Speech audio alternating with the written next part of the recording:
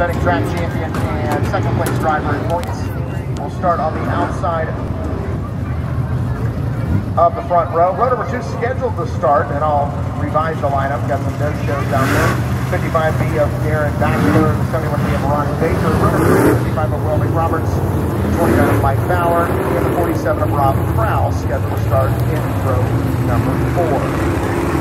So a couple no shows. The 62 of Kyle McIntosh lost the drive shaft. No that he is not out there. And the 55B of Darren Bachelor is elected to start from the tail.